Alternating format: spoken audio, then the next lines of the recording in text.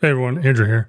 Uh, this weekend was Nona's birthday, so we decided that rather than recording, we were going to bring out an episode that we hadn't been able to air yet. So hope you guys enjoyed. This is part one. Part two will be tomorrow, Tuesday morning, depending on when you're watching this. Um, and then we'll be back to our regular schedule on Thursday.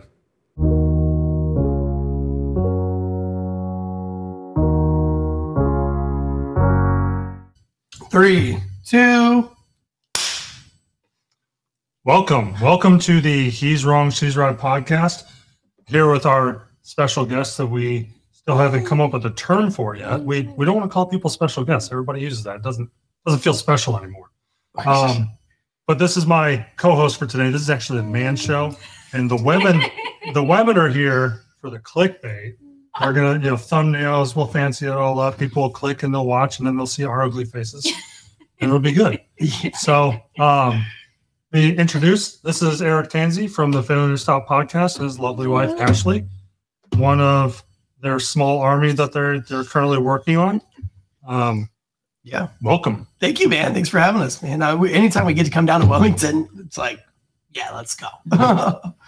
I'm glad you guys had us. I'm happy to have you guys here. I actually feel so weird not having to move the mic in front of my face all the time. And it's Yeah, like- I know, right? I feel like what am I Uh, so I was on a podcast like a week ago, and they did a, a podcast like this, and like for the first half of the show, I kept looking up at the mics because I'm so used to looking at a camera on live shows. we were having a conversation. Um, I don't even know what it was about. It was just a sidebar in between recordings a couple days ago, and I kept moving. I'm, we weren't even recording, but because we were sitting there, I kept moving Yeah, yeah, yeah. the microphone. She's like, "Why are you talking to the microphone?" I'm like, Yeah, it's good mic discipline though. You know what I mean? Like, anytime I have a guest on one of my shows, I always have to like go over how to work the microphones. But yeah, man, thanks for having us out. um, let's jump right into it. I'm here. What do you have going on right now? Because I know that some of our viewers, all three of them, will know who you are.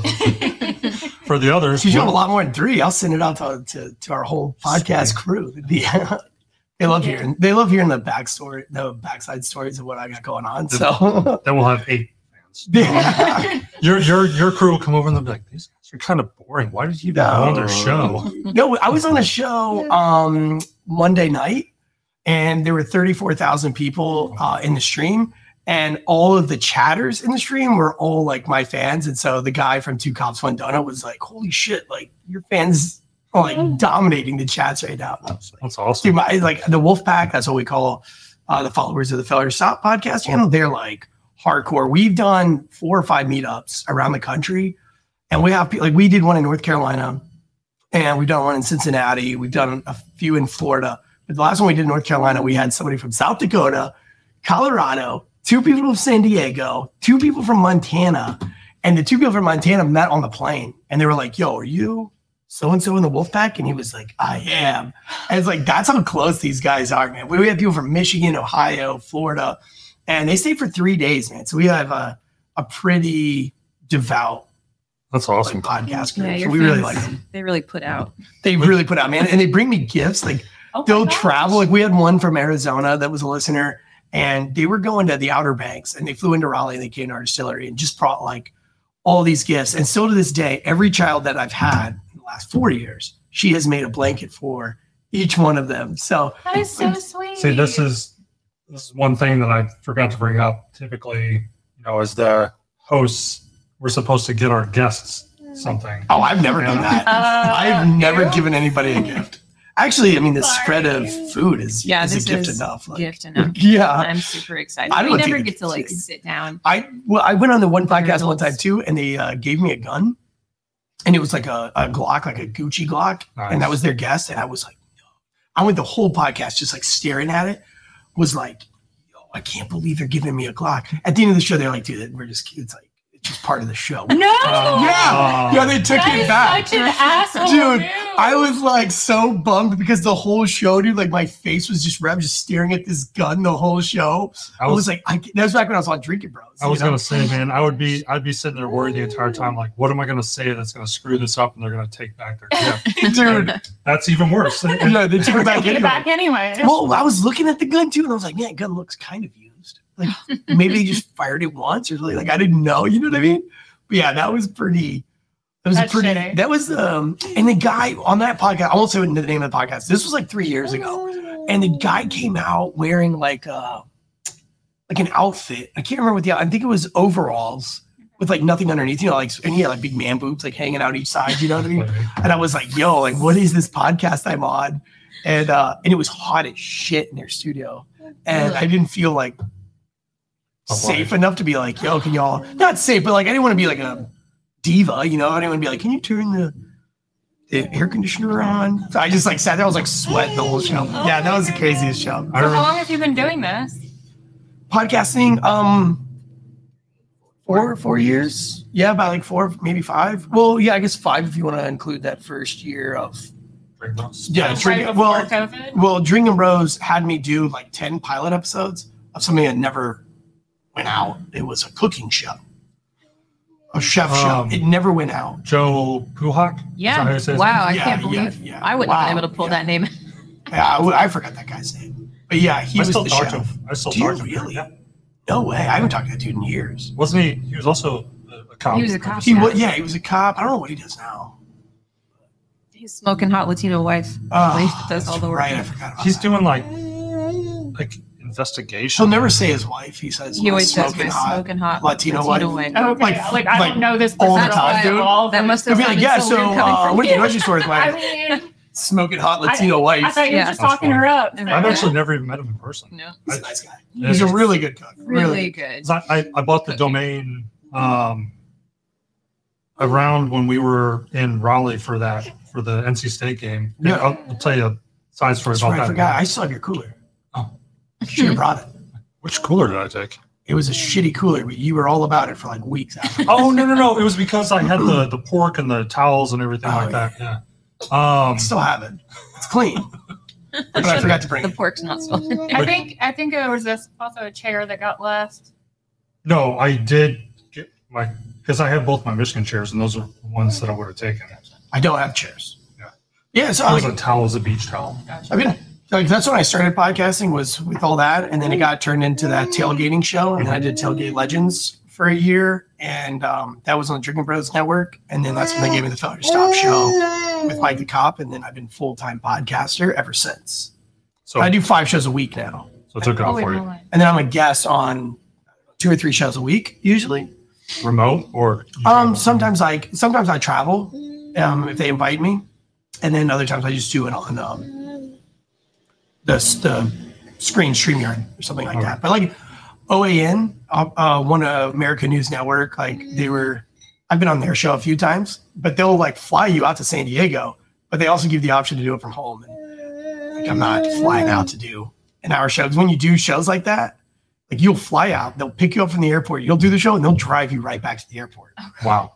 So that's a long day. Like Yeah. I, six hour flight out, two hour podcast. what are you gonna do for your uh, book tour? Are you gonna? Do you have a bunch lined up already? Uh, so I guess like the agent and Nick Palmisano, Mhm. um, they kind of are in charge of that. Mhm. So I know that I got a really fat bonus though, which was pretty cool. And I guess that's to pay for all the travel, this, but they're sorting that money out now. okay, I, sh- I should premise because I do know some stuff that you told me not to Oh. say. Oh no, is- he's fine. I mean, I don't know, like, yeah, I mean, there's some things that they're not out yet. that like they- we can say the name. We can yeah, talk yeah, yeah. it. Oh, Okay, yeah, yeah. okay. Pig Latin, a seriously funny true story. Signed a major book deal with a big publishing house that we're not saying the name of the publishing house right this second because we're, um, well, I mean, we're going to tell the story eventually.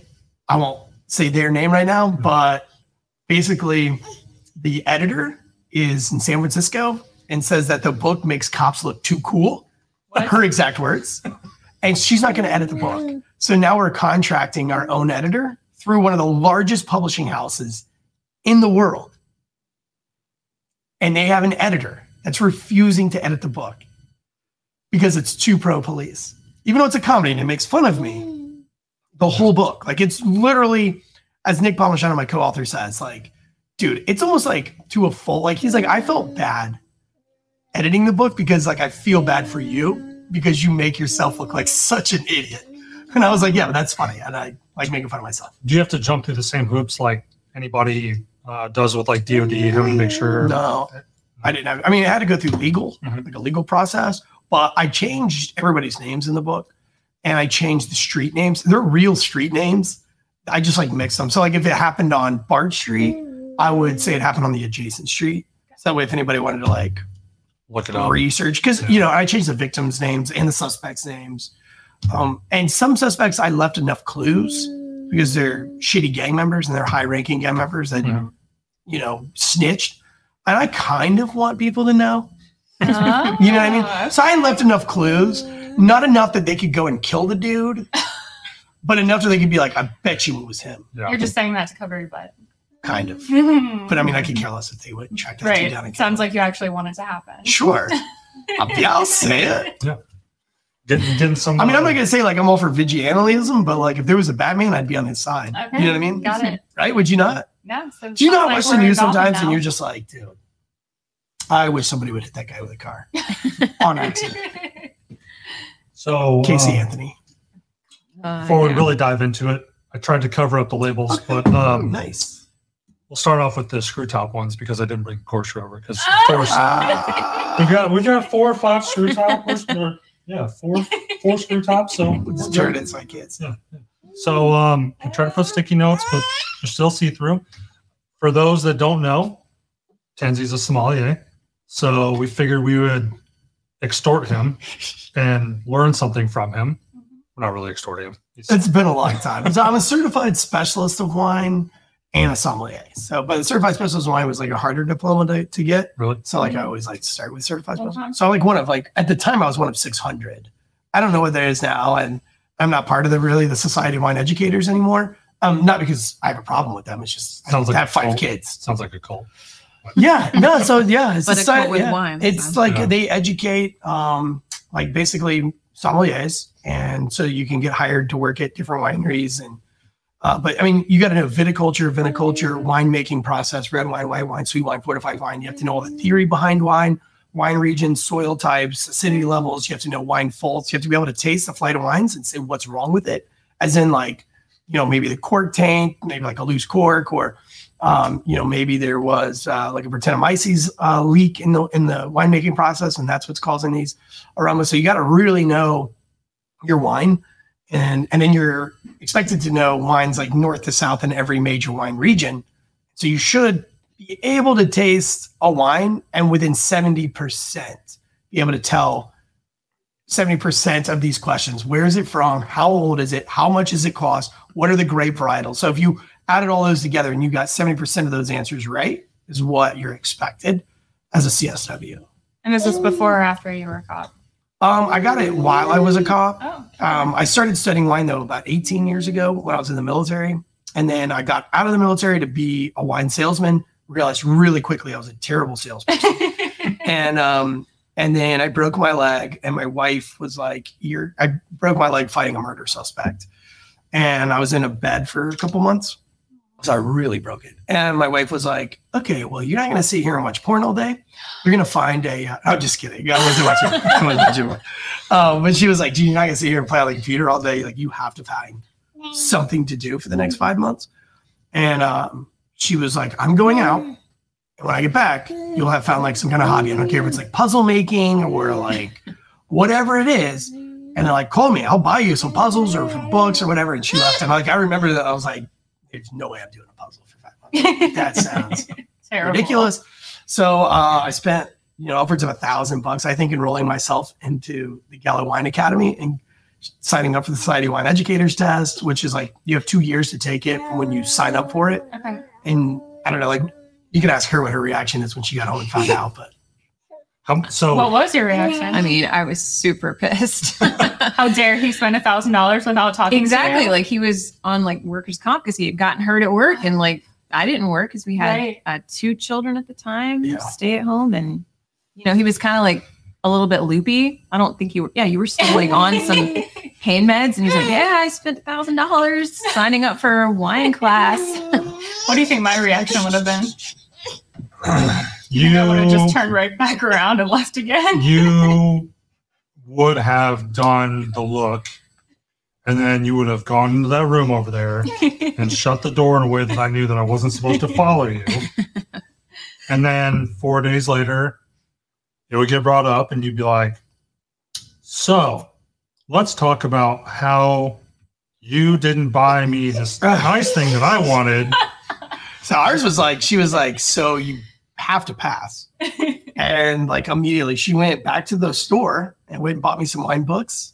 And she was like, dude, you're gonna have to go all in if you're gonna pass this test. And, and like I knew I was gonna have to. It's a 70% fail rate. How much Um, money did you spend on the wine? Uh, I got sponsored Uh, by a sh- wine shop called Wine on Main. And I like basically did all their wine tastings and I did their wine buying. So like I would meet with uh, wine reps for them two days a week and figure out what's a good vintage, what's a good price, how many bottles we should buy, how you're going to sell it, who you're going to sell it to. And so I did that for, for that wine company in exchange for wine to say with. And the cool thing was, though, is because I was meeting with reps, the reps would also just give me bottles for my rec, like to get me to either blog about it or to push it in the wine stores. And I do wine tastings. At the time, I was doing, you know, once a week, twice a week. Mhm. Plus, I was doing wine classes. And this is all with a broken leg. No, this was like pretty much after the broken leg Oh, okay. when okay. I like started really studying. I mean, because it took me like a good two years to take that test. I, I took it two years after I signed up. So, okay, okay. but um, yeah, so that's where I got all the wine to study. add, add this to my list of inadequacies. I know I know about as much about wine as I know about trees Yeah, or anything. yeah. Yeah, sure, same. yeah, I think that like for wine, it's like reading. And when you go to a wine store and you don't know anything about it, it's like going to a bookstore and not knowing how to read. You see all these like really cool books that look cool, but you have no idea what they're about. And you have no idea if you're going to like it. You're literally judging the book by its cover, which is like, a cr- I mean, imagine if you couldn't read and all you could do is pick a book out and have somebody read it to you Mhm. by, based on the cover. I mean, you would miss. I mean, what, what was that one book that you like? Uh, Pillars of the Pillars of the Earth. Pillars of the Earth. Like that's a terrible book cover. Like it's not flashy. It looks like a Bible. I would never ever want to read a book that looks like that. Mhm. But you know, it's one of her favorite books or whatever. So Are you familiar with uh, the Dunning Kruger scale? So you have on your uh, x axis or y axis, which are on the vertical. I don't even know. I'm too dumb to remember. Um, you have uh, knowledge, and then on the other one, you have experience. yeah, And so you have people that are confident that they know everything until they are exposed to it and they're like, oh shit. And Yeah. then you hit the valley of despair as you gain a little bit of experience and then you kind of work your way back up as you have experience and knowledge to yeah. bring together. Where do you think you are on that scale? I mean, for wine, Mhm. is that what you're saying? Yeah. Anytime you start to think you know something about wine, you realize really quickly you don't know anything about it. So I mean, it's wine is like one of those things you could, and that's why I've said like it could be really good for people with PTSD. I know that sounds weird, and like nobody would ever pick that up. Mhm. Like veteran suicide was never like pick up being a sommelier or a wine guy. But like for me, it's one of those impossibilities. It's like one of the, it's like being in the special forces. Like when I went to selection, you know, I went. One of the reasons I went to selection was because everybody said it's impossible. It's like super hard. You're probably going to fail. I like to do those things, you know. That's why I opened up a distillery. It's like the hardest thing to open out of all the beverage uh, industry, uh, like as far as like breweries and wineries go. But there's only 250 masters of wine in the world. There's only 250 people since like the 70s that have ever passed the master of wine exam. Wow. And thousands and thousands and thousands of people have taken it. So I already know what's on her mind. How frequently do you guys go to nice fancy galas and events where she could dress up? Because that's that's what she's thinking right now. She's like, we used to. That literally didn't even cross my mind. Yeah, I mean, we used to, all yeah. In his head. we used to. Four kids we went to- ago. Yeah, four kids ago, we did go to a lot of galas, and I got to do this private sommelier for some really high end people. That was really cool. Um, and uh, yeah, there's a lot of cocaine in that industry. Uh, That like the richer yeah. the people, the more cocaine there is. Yeah, So that was, and I was a cop at the time, Mm. so it was really awkward. And I mean, I'd be like really, really high end people that you would know who they are, Yeah. and your listeners would know who they are, and you would never think in a thousand years they would do cocaine. And we'd be at a really fancy gala, and they would all be in the Escalade taking a bump before we would go in, or like, and it, and that That was was the bathroom. or in the Everyone was bathroom. In the bathrooms. Yep. and I was a cop at the time, so it was like very awkward for me because I'm like, Did they know? "Mhm." Gotcha. but I wasn't working as a cop. I was working as their Right, sommelier. right. No, so I like turned a blind eye to it. Yeah. But like it was really weird at that time. Does it matter if you're not in your jurisdiction? Like if I was were in my jurisdiction. Oh, okay. Mhm. okay. Like these people would come to Raleigh for maybe they came in for a football game and they wanted to hire a private sommelier for the night, or maybe it was one of the Triangle Wine Experience nights or something like that. Or, you know, like I'll give you an example. This, this person did not do Coke at all. This was an amazing person who supports police, but they own FedEx. Like they invented the FedEx thing that you sign for boxes. Okay. And they're like probably like one of the top 20th wealthiest people in the United States, just wealth beyond imagination. And they had a private wine night, and I was their sommelier. And then I got to do a cop thing with them, and they invited a bunch of cops for sommelier night, and that was really cool at this like super really nice restaurant. And um, and they were like, at the end of the night, she was like, Eric, if you could have one bottle on this list, like what would you pick? And I was like, like what do you mean? Like, well, if I could just have one, just money wasn't an option, and I didn't, you know. She was like, yeah. I told her which one I picked. And she was like, Can you guys grab that bottle? And it was like this Expensive. like 1998 Chateauneuf du Pape that was probably like three thousand dollars. I mean, I don't know what what the price was. Like the price wasn't even on there. But I mean, I, if I had to imagine, it was at a restaurant. It's probably like three thousand dollars. Jeez. And you guys got to enjoy it in the privacy of your Well, own home. while No, we're we talking dr- we drank it. And I was Right there. pregnant, so I didn't get to try it. oh no! Well, she tried it, but remember the lady like got really mad at you for trying it, like some other lady at the table. I thought she Yeah. was giving it to you as a guest and like here. Thank No, you. she was like asking for a Ooh. suggestion. No, for she the was just table. like for the table, yeah. Gotcha. But I mean, I got to have a, a glass and this like iconic wine. But yeah, it, it, being in the wine world was a lot of fun. Um, but like I said, like it's you know, there's only 250 masters of wine. I'm not one of those. Mhm. Um, my goal was to be one. Realize if you have kids or a wife, it would be very hard to do that um, because you have to give up everything to do that. I mean, like your whole life has to be consumed by by wine. But you know, working my way through the the uh, Court of Master Sommelier process and getting you know your level one, level two, or doing your CSW is so good for like PTSD because you don't even really drink the wine anymore because you're studying theory behind it. You know, if you know the history about of wine, and the history could be like the Civil War, like the Lebanon, uh, the seven, the Civil War going on in Lebanon, or like uh, Caesar moving the Gauls out through uh, France down into Germany and stopping their campaign to grow wine in Burgundy. You know, like all these crazy stories that come out of it. Did you know, like Hitler, uh, like the reason why France allowed Hitler to take Paris so easy is because they put all of their assets and dug all their trenches and spent all their time fortifying the vineyards and the wineries so they could just go straight through because those wineries are so iconic and they're so old, thousands of years old. These these clones can't be recreated. I mean, we're talking like Roman era grapevines. Wow. And you know, the grapes of Champagne, the grapes of Burgundy, the grapes of well, Bordeaux doesn't count, but um, because it's not really on the way to Paris, it's on the other side. But um, all of those uh, wines through there, they didn't want the Germans to just destroy them because they are literally probably the most important plants in existence. So, do you think?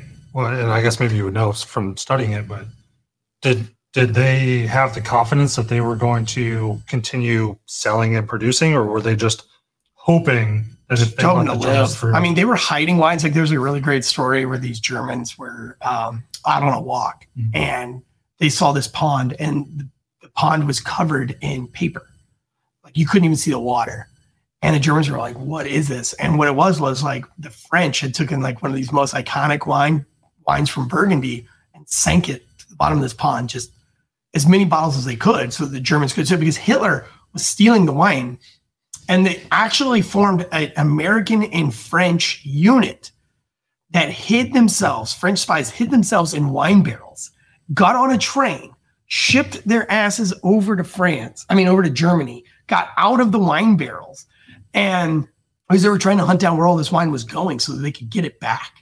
Like, Wow. could you imagine if they were like, "Hey, uh, you're being recruited for this new military operation to get back wine from Hitler"? Operation One. So they were Yeah, sinking these bottles wine. of wine into this pond, and all the wrappers floated up and covered the things. But they were buying dust. So they, at one point in France, there's a great book called Wine and War. It's all about this, and it's all about the POWs making their own wine, and it's it's a great book, very quick and easy read. But uh, one of the other stories in the book was that they were these winemakers were going into the towns and and taking people's rugs back to their cellars, building false walls, putting the wine behind the false walls, and taking all the dust from the rugs and trying to cover the new bricks and all this dust from these rugs. And they were trying to like make fake spider webs and everything so that when the Germans came into their cellars, you know, they could protect their Right. you know most valued wines. That's Really interesting stuff, man. Like we, there's a really fun bottle of wine. It's called Chateau Musar. You can find it in a lot of wine shops. But I don't remember right now what that vintage was. It was probably like 2012 or 13. I can't really remember. Uh, but you could go back and look it up. But those grapes that were in that bottle, and this is 23 bucks. But that vintage, like four people died picking the grapes because there was a battle going on.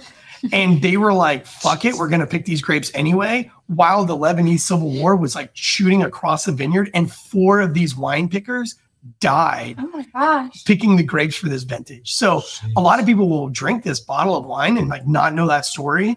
And they might even say something negative about the wine, like, oh, it's not my favorite or something like that. And you're like, bitch, died four people it. fucking died making that wine. And, you know, that's why I have like a real problem with telling you if a wine is good or bad right. because I think there's a time and a place for every wine. And it's the story that goes behind it. It's the occasion that you're enjoying it on. I mean, my wife and I got married at Hinnant Vineyards. You know, a lot of people stuck their nose up at the time. Like, why would you go to a North Carolina wine vineyard for your wedding and have sweet wine at your wedding? Like, ew, or Where is whatever. And we're like, It's out near where we live. it's like near Dublin. Super Um, tiny. Yeah, it's yeah. muscadine sweet wine. Yeah. Okay. And but we were like, you know, we're in North Carolina. We're having a North Carolina traditional wedding. Our kids are going to be born here in North Carolina, and we want to enjoy with native traditional North Carolina grapes because I don't stick my nose up to sweet wines. And like, by the way, unless you're like a size two, don't ever fucking tell me that you don't like sweet shit. Like, bitch, I fucking know. And that's like, as a sommelier, it'd be, we'd be like, I just don't like a sweet wine because I just, I just, I'm not into sweets. And I'll be like, I wonder what the, Bitch. what the woman at Bridgewater was thinking when I was rambling off all my moronic, probably sounding criteria like this. guy Just. I mean, if you know something about wine and anybody's asking you a question, you're excited. Right. It's when you aren't, when you don't know anything about wine and you're working at a wine shop and you're like a poser. That's when you stick your nose up to fucking people. But like when you know a lot about wine and Mhm. anybody that has like a general question, you're like so excited. You're like, finally, like all of Oh, this wine. knowledge I get to share with you, you know? Like I get to get you excited about drinking wine. Like, let's go. the extent of my knowledge is I pour it in a glass Yeah. and I like it, Uh-huh. I'll drink it. Yeah. That's that's that's about where it goes. And you know that's, That's a all fair assessment. Yeah. Yeah. that's a fair assessment. So like for me, I want to know the story, and it's more about the story or the occasion, right? Like so, if you invite me to your house on this podcast, I don't know what this white wine is right here, but like I know I'm never going to forget it, Right. Right, because I had it here. You guys' first podcast in your house, your new house. Um, you have this awesome spread of charcuterie and accoutrements. If that's the right word. Uh, is that the right word? I'm still a C minus student at best, but I um I'll never forget it. I'm I'm probably a, a B student, but I got A's because I was a very good test taker. But outside of that, I didn't do the work, didn't care. I just was uh that that looks like the best answer. Didn't actually Sure. know the knowledge, just yeah, that makes sense. Yeah, with wine, you have to know. Like, there's not, you know, you can't fake it. If you do a blind tasting, you can't fake if you know that wine or not, because they're gonna fucking tell.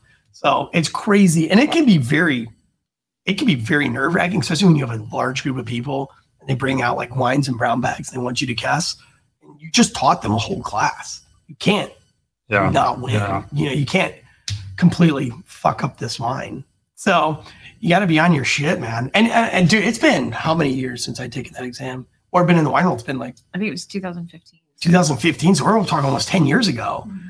and I'm still expected to know Yeah. everything still. Like anytime I'm around anybody at a restaurant or anything, they're like, "Okay, we just ordered this glass of wine. Don't tell them what it is." You know, and you got to be on. You know, can't embarrass I wonder I wonder if that'll be Cash's thing when he's older.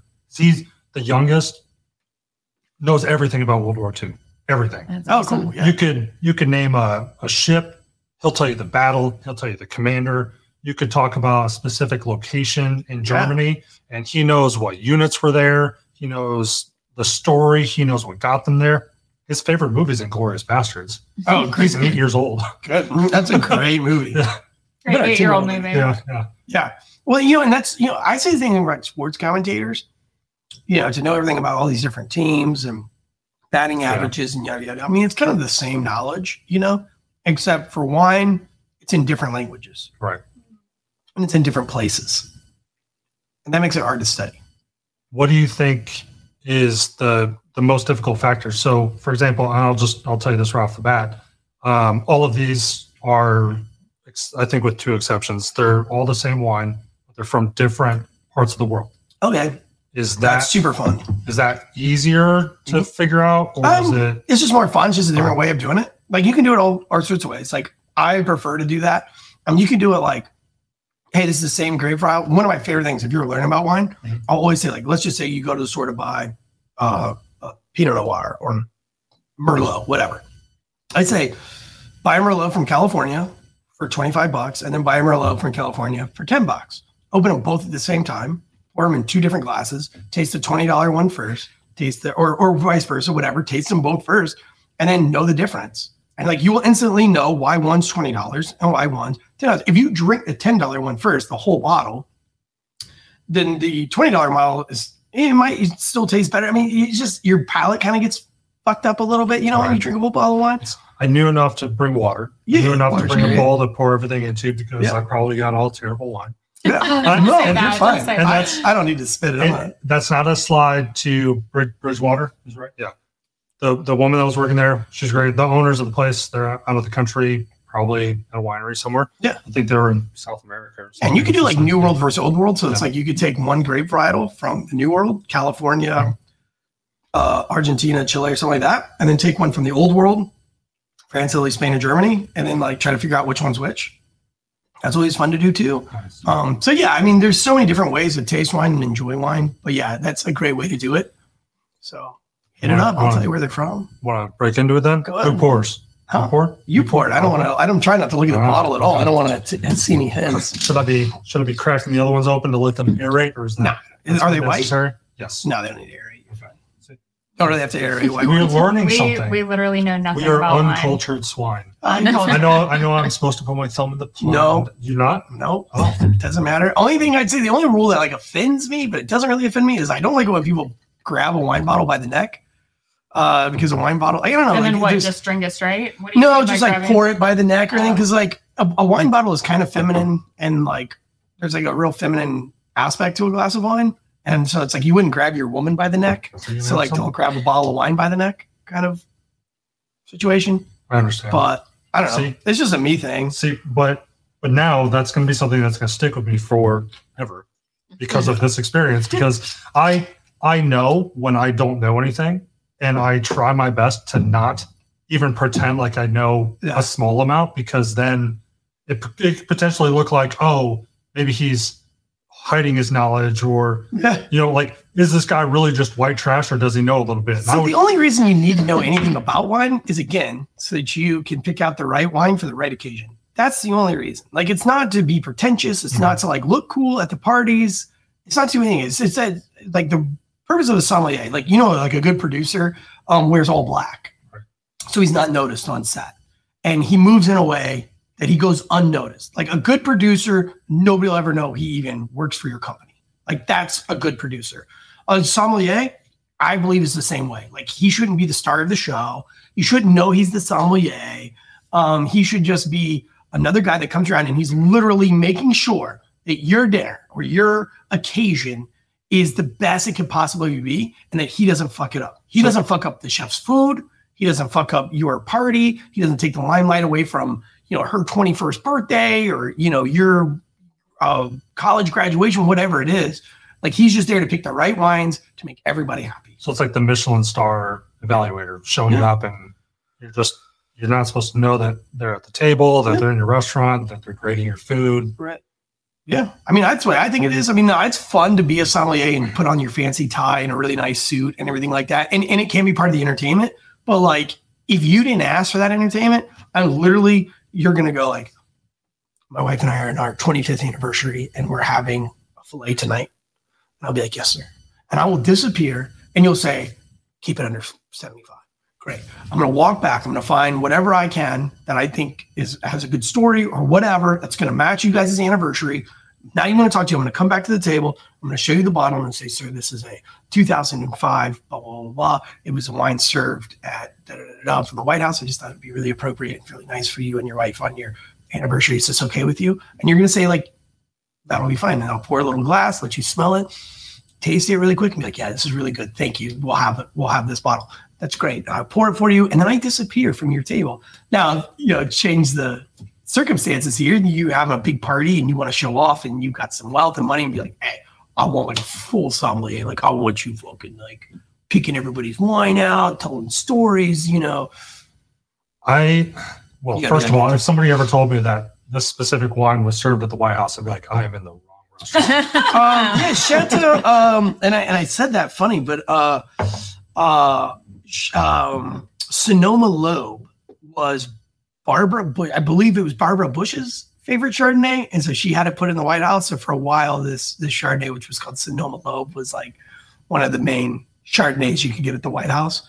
You know, which is kind of cool. But you know, um, there was a hockey team, the Hurricanes Mhm. hockey team and they maybe won a World Cup or they won something. I don't follow hockey, but their coach at the time, and this was in like 2010 or 2009 or whatever, whatever year they had like a really big year. And for Christmas, the um, coach and the owner wanted to get the guys a nice bottle of wine to celebrate. Maybe it was the playoffs. I don't know. I don't know anything about hockey. Um, and so I, and he told me like what he wanted to spend on each bottle. And I, I had a bottle that I produced for him that I was like, this is like $35 a bottle. And he was like, oh, you're kind of wanting something fancier than that. And I was like, oh, well, the reason why I picked it was because this was the bottle that Lance Armstrong popped on his seventh and final Tour de France victory after defeating testicular cancer, lung cancer, and, uh, you know, uh, all those things. And then, you know, coming back after being retired and winning his seventh Tour de France victory and they showered everybody in the champagne. I just think it's really cool. But like, yeah, I guess if like price is the issue, then I can get you something more expensive. And he was like, no, that sounds pretty fucking cool. And I was like, it's pretty fucking cool. So, with that being said, what is the cheapest wine that you can remember that has a good story like that? Well, um, so for me, like wine and money don't go hand in hand. Like just because wine costs a certain amount of money doesn't necessarily mean it's going to cost. I mean, it's a good indicator, Mhm. but sometimes you can buy, you know, it's like buying a Tommy Hilfiger shirt. Sometimes, you know, it's like, oh, well, you're just buying it because it says Tommy Hilfiger on it. There are some wines out there, but in the wine world, usually the reason why it's that much money, I like to use this as an example. I don't play baseball, but I think your kids do, correct? They, they, They play, play football, for a little, but they're Okay. soccer. They love soccer. They like soccer. Shit. I don't know anything about soccer, so I can't use that. But I'll use baseball because I know a little bit about baseball. Okay. If you went to a batting cage and they had an Easton bat, which is like a good, decent metal bat that probably cost you 75, 80 bucks, right? Mm-hmm. And they said, like, hey, you know, you could pay $10 to hit the ball, and we have this Easton bat for, you know, $75. You'd be like, dope. Or you can pay $100 and we'll let you use this Hank Aaron bat that was actually used at such and such baseball game by Hank Aaron. Now you would be like, which one could you hit it further with? Probably that metal Easton bat Yeah. that only cost you 10 bucks to use for the day. But if you had an opportunity to swing a wooden bat that was held in the hands by Hank Aaron or Babe Ruth or whoever, like you're paying for that. So if that's not important to you, then just use the $10 bat. But like if you're a big Hank Aaron guy, then that's why. So it's like, you know, the, the wines of Burgundy, which are typically the most expensive wines on the planet, the reason why you're paying for this one is because like the size of Burgundy is only a couple of acres. They don't produce a lot of grapes. Right. And those grapes are the oldest surviving grapes on the planet Earth, literally planted by the Romans.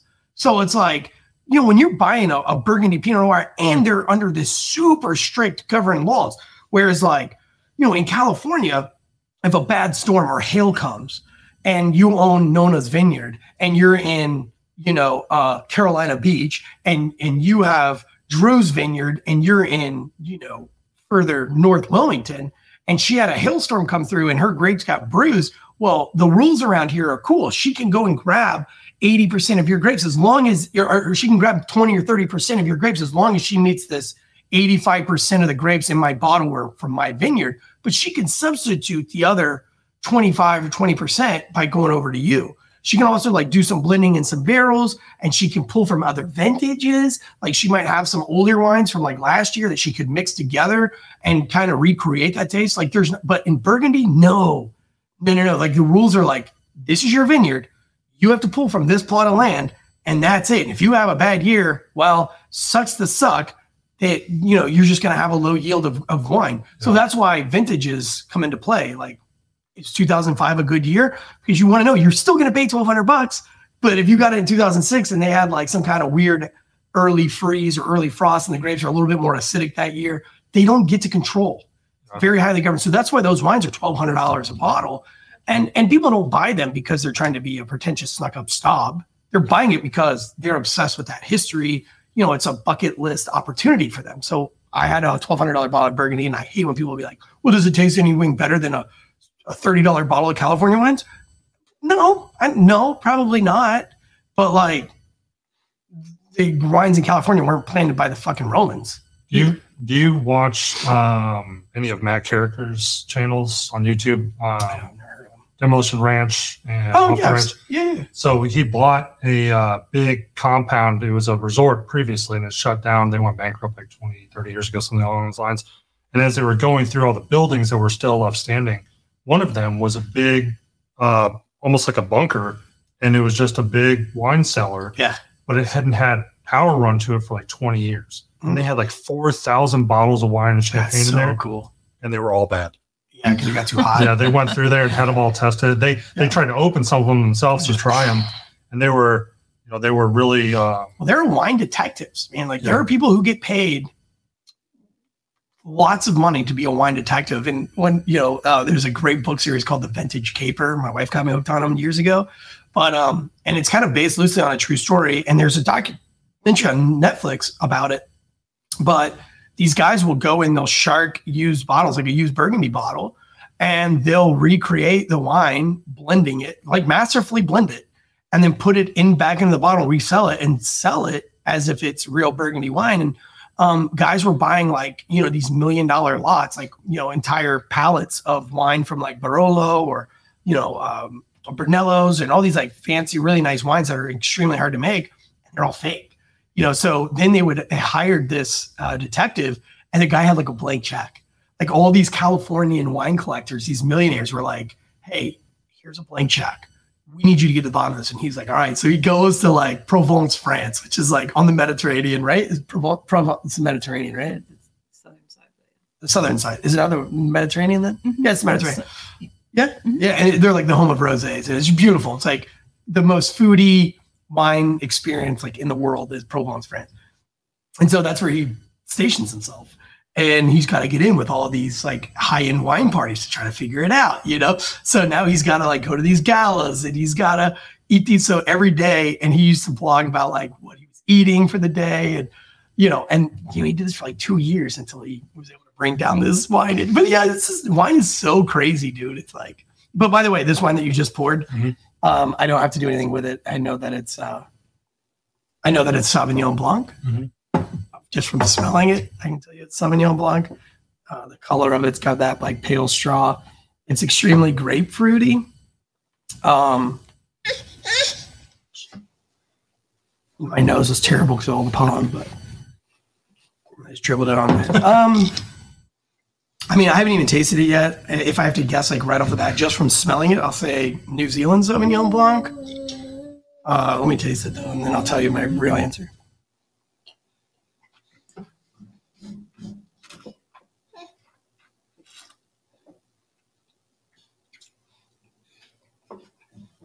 I was like, look at it because I've no idea. Yeah. So it's. Uh, I was just about to before I even saw this. I was about to say like this is way more fruity. So it's not New Zealand, but you already showed it to me. It's it's Sauvignon Blanc, and it's from uh, Paso Robles, California. But on the on the smell, I was going to guess New Zealand, but then when I tasted it, I was just about to say like no, not New Zealand because it's too fruity. Yeah. But it's Sauvignon Blanc, so um, yeah, Sauvignon Blanc, uh, Vina Robles, Paso Robles, California. Dope. Um, I really like it. Really refreshing. Really nice. Mhm. Really fruity. Um, so when you get to like New Zealand, it's going to be way more acidic because it's way less fruity. It'll be more like uh, eating like a grapefruit, like just taking a bite of a grapefruit, put sweat on your forehead. Ooh, that one's a pretty glass. Yeah, I was at Frosted. first. when- Yeah, I was like, "That's frosted, not bad, right?" And she's like, "No, it's just frosted glass." I'm Yeah, like, "Okay." Um, yeah, we are we are amateurs here, just- Mhm. just to be clear. Totally fine.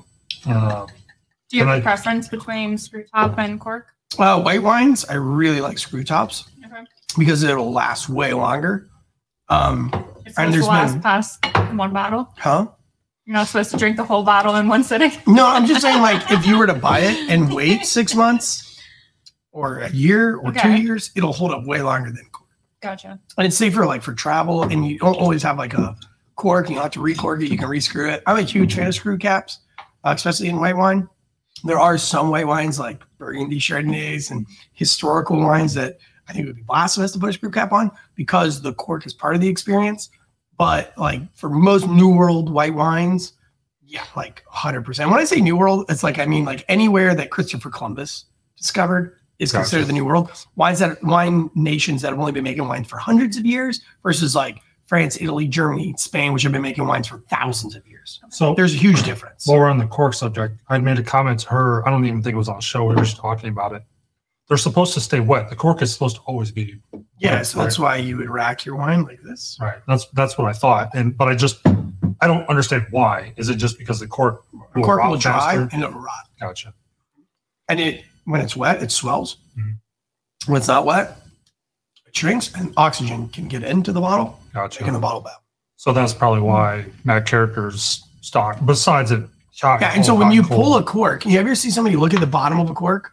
yes, Um, I I'm, I'm, I should say the reason why I've you look at the bottom of the but didn't, cork, didn't know what they were doing. But yes, yeah, people do it all the time, and some people know what they're doing. Some most people don't, but and like I've seen people like touch it with their tongue. It's kind of silly. I don't know, like you're not gonna get anything from it, but like I guess. But you Um, look cool. but you look cool, maybe. I mean, I mean, I don't know. Sometimes I like to put my tongue on things, so I probably have been guilty of it.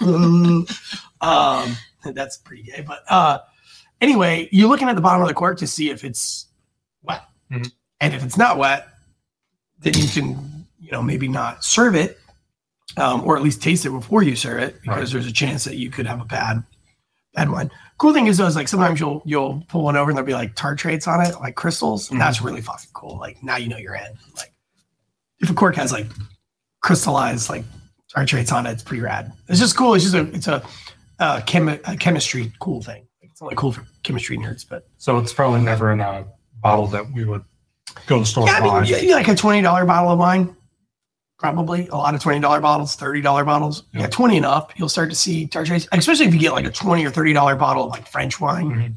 You know, you'll really probably see them. So out of curiosity, then, why don't grocery stores and bottle shops store their wine?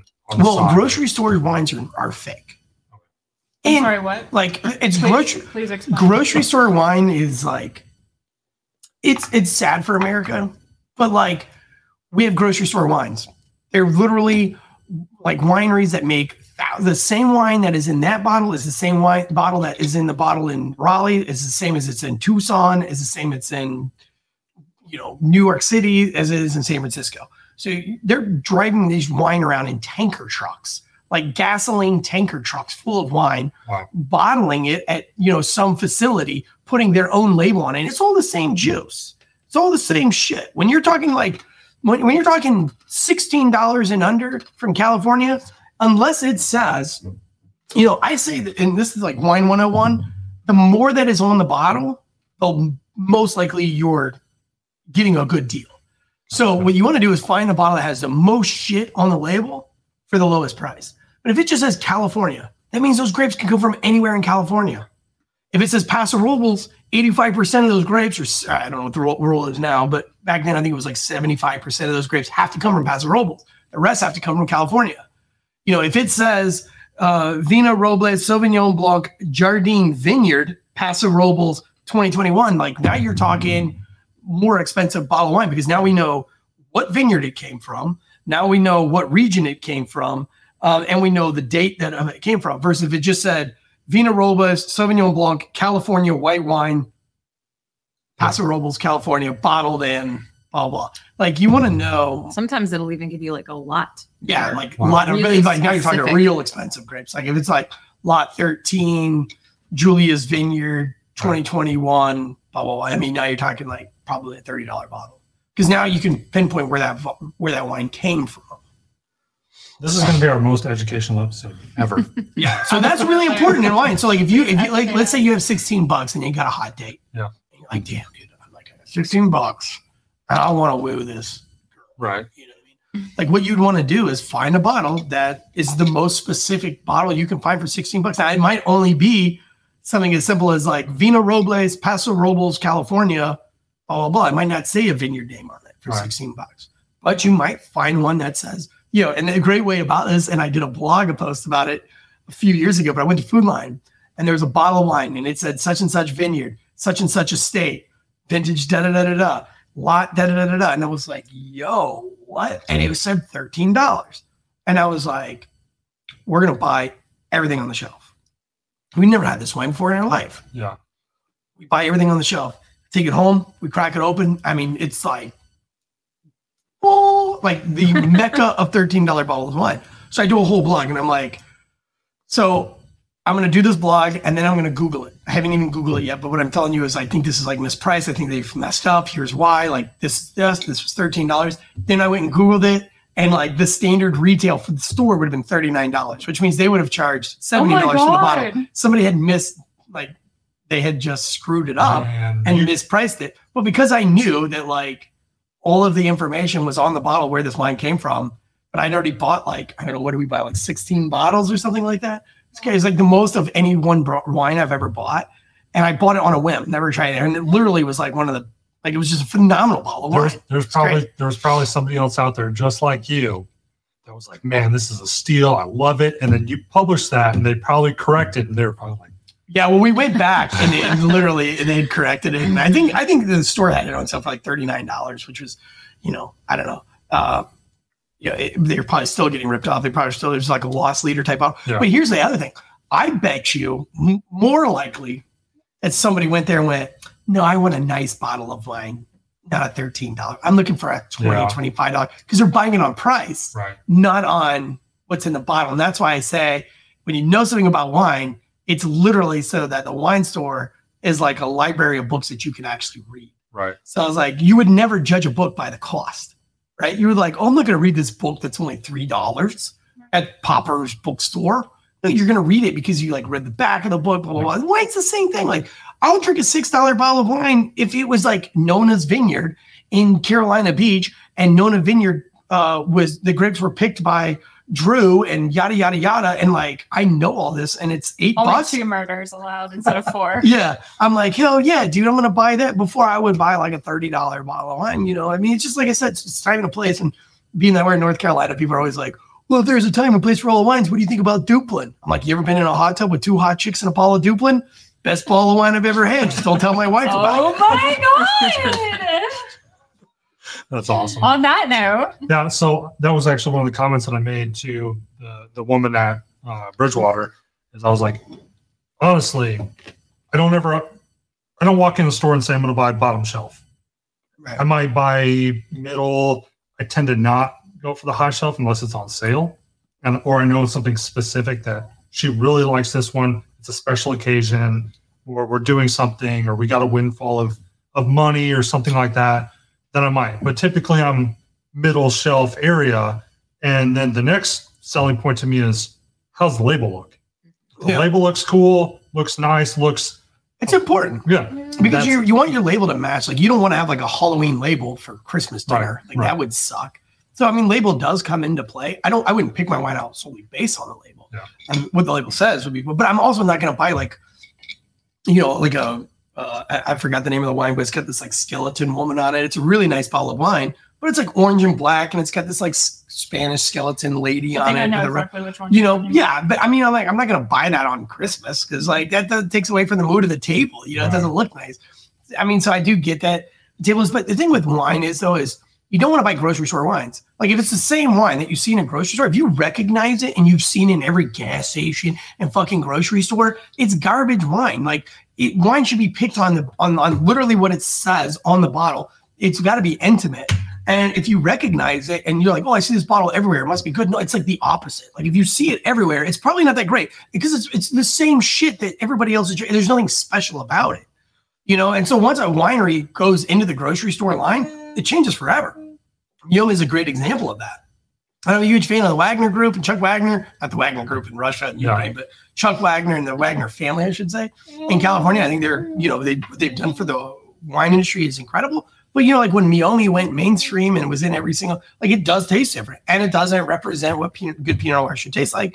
I still buy Meiomi every once in a while, um, because I'm such a fan of the family and stuff. But like it's once they sold out, it's not, it's not the same anymore. It's it's you know, it's mass produced, like everything else. So you would say the so. standards are just lower by going into. It's just mass produced. Like, how can you, you know, if you're pulling grapes from one vineyard that's farmed by you two, like that's going to have a lot more care and, and be a lot more specific than a, a vineyard that's so massive and, and vast that spans counties. And you're using all sorts of pesticides. You're using all sorts of shit to keep those grapes. You're, you're running tractors all through the damn thing. Like nobody gives a shit about the soil. You know, whereas if you go to like Caduceus, which is like Maynard, Maynard Keenan, that guy from Tool, you know, his winery, I mean, like that dude's got like soil specialists on staff. Like these guys are monitoring everything. And it's just so that the it's farming. And when you meet real farmers, wine farmers, they're rad, dude. They're like gnarly hands and like, you know, they're wearing overalls, they're sweaty, they're stinky, you know, and they're they've got this beautiful glass of wine that they've created. They've farmed it, they've uh, shaped the vines so that the grapes grow in the perfect cluster. They've tested the acidity and they've, you know, they use biodynamic farming practices or sustainable farming practices. Uh, you know, they're out in there shooting shotguns to keep the uh, birds from eating their grapes. You know, like they're planting flowers so that insects will eat the flowers and not the grapes. I mean, there's so much work that goes into it, and there's so much passion. What do you think is going to be better? So I, That or this mass-produced conglomerate of shit that you're putting in your body that probably has metals in. it. I mean, like they've recalled wine for like arsenic. Um, it's big not- recall. Isn't naturally occurring in grapes like it is in apple? I Right, know but they- yeah, you can't have like you can't have like but a certain amount. Right. And they recalled a whole bunch of California grapes a couple of years ago because it, Wow. he's like it was all the Trader Joe wines actually. Um, my, my dad actually built a uh, uh, the actual like facility that was attached to the vineyard in Michigan, and they had some other like organic label that came with it and things like that. So they had to, in order to enter the property with even the construction vehicles bringing in materials, things like that, they had a point off site far enough away from where anything could, you know, contaminate the soil, where they had to literally clean the entire vehicle before it was allowed to enter the property. Yeah. They had to wear things over their shoes, like like mud boots essentially, and they would bring them out to you. You couldn't bring your own in. There was all kinds of stuff that went into it. I've actually never even been there because that happened shortly after I moved to North Carolina, and I've only been up there a couple times since then. Maybe we'll have to. It's right on the right on the coast of Lake Michigan. Um, I wouldn't be able to tell you the name off the top of my head, but my dad knows it. but you know, it's, it's all that fun. Like when you start entertaining with wine and you kind of learn, you don't have to know a lot about wine, right? But once you know a little bit about wine, if you're like a shy introvert person, Mhm. You and you have people over to your house, you can literally entertain them with just with the wine because nobody's used to it. Nobody's in. it. I used to teach a class called Entertaining with Wine that I invented. Mhm. The whole class, I invented all the food to go with it. Um, because I was hosting so many wine parties that it gets expensive. Right. Um, it gets obnoxious. So I invented my own wine party, and and I did it for Jesse Weisman one time Nice. from the Drinking Bros. But um, essentially, like I did like all the food for twenty bucks, and all the wine for like sixty bucks. And so, like my theory was that like you can go buy a whole bunch of nice cheeses, Mhm. and that's sixty dollars, right? Like if you get a platter of a bunch of different cheeses, that's minimum of thirty. You know, Yeah. probably upwards of sixty. Then you get your charcuterie, your meats. There's another fifteen bucks. So you're like seventy dollars or fifty-five dollars in on just the charcuterie board. Right. Then you got to go and buy the wine, and now you're you're into a hundred bucks. So what I invented was like mussels, right? Mussels cost three dollars and ninety nine cents a bag. One bag will feed six people. We started our me- meal. Uh, when you come to my house, you have sparkling wine, a, a- nine dollar sparkling prosecco, slightly sweet, really pretty Barty bottle. One's called like La Marca's or Lamax, like uh, which you know kind of looks like your name. Um, uh, but it's a blue prosecco. It's like nine ninety nine. It's super unoffensive, but nobody gives a fuck. Um, is bubbles, right? Like nobody is looking for expensive bubbles these days. Anyway, so you buy this ten dollar bottle of sparkling wine, and you have this three dollar ninety nine cent bag of mussels, and they come into your house, and you're like, hey, mussels are ready. Now, what's the cool thing about mussels is you steam them in three minutes, and then you use the mussels to be your utensils. So you don't have to bring out any utensils. Like you put the pot on the table, and you give them like a little plate, and they use the mussel to pick up another mussel, and that is your utensil. And so hmm. they think this is the coolest thing in the world. I'm eating with a mussel. I'm eating the mussels. I have this great bottle of sparkling wine, and here's what else is happening because it's a mussel, hmm. and it's it's not like cheese, right? Like how much cheese and bread can you eat, and then you're full. So the problem is your wife makes this amazing meal, right? Like maybe maybe she's making a big lasagna and she made her own pasta noodles or whatever, and she, you know, or uh, pick a dish. She puts all this work and effort into it. But then you show up to the house and you got this bottle of uh, you know thirteen dollar white wine or fourteen dollar white wine, and then you got this charcuterie board that's seventy five dollars of charcuterie, and they're gonna have like four or five pieces of cheese, four or five pieces of bread, and then they're not hungry anymore. Well, when people aren't hungry, they're not entertained anymore. Gotcha. They don't care. Now you have to do all the fucking talk and all the shit because they're not peckish anymore. So you you pull out this half bag, this, this bag of mussels, and you got six folks. You're only gonna get like three or four mussels out of that. But you know, like you're eating it slow, you're talking, you got the sparkling wine. Nobody's slamming bubbles. Oh, and then I forgot my favorite part, bubbles, right?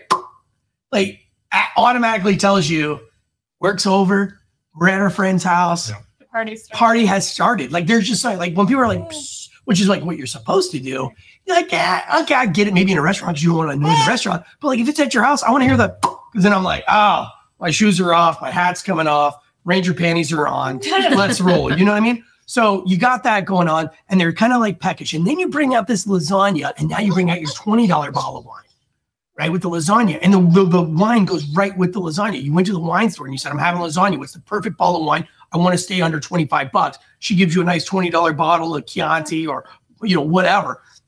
A good Italian based red wine, and you got that, and you got your thing. And now the wine complements the uh uh Uh, the lasagna. Because if you you know if you buy another thirteen dollar bottle of red wine right because you spent seventy five dollars on cheese so now you're going cheap as fuck on your wine and you buy this like cheap ass grocery store Cabernet Sauvignon was very juicy and jammy. Well she's put all this effort into this fucking lasagna and all you're going to taste is blackberry and strawberries and your teeth are going to be red not from lasagna but from wine. So why did she spend all that time making her own homemade noodles and her grandmother's famous Italian sauce? I'm guessing is Nona Italian Nona is Italian. yeah. okay that's why I'm going Different, Italian different spelling. But, you know, you got all of this stuff going on, and like nobody cares anymore. And you got a shittier bottle of wine that nobody cares about. Right. So like the wine's average, and now it's making a great meal kind of average. And you've had an average cheese spread, and I don't care like you know you got Humboldt Fog and you've got you know Gouda and Camembert and all these like great cheeses. It's still fucking average because nobody gives a shit. Right. Nobody appreciates that shit anyway. I mean, sometimes you do. Like if it's girls' night and you're gonna just eat cheese all night, that's when you go Right. with the cheese. But when you have like six fucking people over, that's not the time. You know what I mean? So you get these mussels that cost you three dollars and ninety nine cents, and then you bought a nice cheap ass bottle of sparkling wine. Now you've saved yourself thirty bucks. Buy a thirty dollar bottle of wine to go with dinner. That's not going to overpower the dinner. And then guess what? We still got a little bit of money left over. You have your dessert, and then you got a dessert wine. Now here's the cool thing about all of this, right? When you have a sparkling wine and you have mussels, what are the people going to ask you? Oh, I've never had mussels before. That's great. Oh, so how do you do it? You know, you just take the little clamper and you clamp on. Oh, that's so cool. I've never even done that before. Oh, and sparkling wine. That's so nice. Thank you so much. Oh, this is so great. Thank you, guy. Thank. Oh my gosh, the lasagna. You made the noodles yourself. These are amazing. What is this wine? This is fabulous. This is so great. Oh my god, and you made the noodles yourself because they're still hungry. See, if they ate all that cheese and that bread, they wouldn't give a fuck about your lasagna. They would be like, oh, the lasagna's great, the wine's great. But now, like, they're hungry, they're worked up, they're like, this is so nice. And then you come out with your creme brulee. It costs you fucking beans to make, right? Because it's what is it? Eggs, uh, egg, Cream. egg Egg cream, and cream and- so super cheap, right? And very Sugar. you know, it's not very difficult to make. Put it in the refrigerator, and you got the little torch. Now you've got the torch. Your buddy's like, "Dude, what are you doing over there?" And you're like, "Oh, I'm torching the. I'm torching this. You're torching dessert. What? What are we having for dessert? You know, and it's you got the fire and everything, and you bring out this little sweet bottle of Riesling that you've made to pair perfectly with these creme brulee, and they're like, "Oh my god, you guys are." Oh, you guys went so out of your way, and literally, it's cheaper than if you would have done the cheese platter and the mediocre wine and you know the lasagna dinner. So This this is like the polar opposite to everything that we and I especially have ever done. Like when I smoked the pork and would have you know 20, 30 pounds Hours. pork. Yeah. But it's it's pretty inexpensive. And then I tell people bring your own beer. I've, Yeah. I've got the meat, bring your own beer. Yeah. So we're on this spectrum and now we're learning about this spectrum. Well, I mean, that's fun too, right? Like, I mean, there's something around sitting around a, Yeah. a, a, a, a barbecue pit drinking beer. Like, I love that. Yeah. You know, I'm down. Uh, tailgating. This isn't for everything, but I'm just saying, like, you having that nice wine night. The new neighbors came in. You don't want to buy like thirty dollars steaks and then like a seventy dollar cheese spread, and then you got you know three bottles of ten dollar wine. That's another thirty bucks. Uh, and then at the end of the day, are they wild? And then you've had to talk to them about sports and all this other shit. When you break out muscles, I promise you, they're going to talk to you about those muscles for like 10 fucking.